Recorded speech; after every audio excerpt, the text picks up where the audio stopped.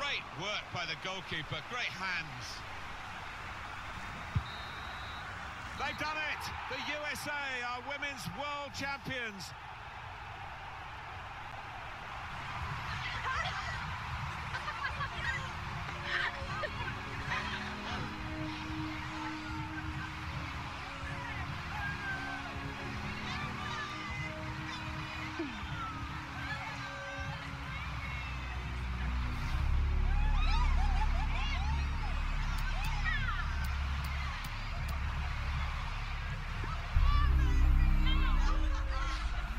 position.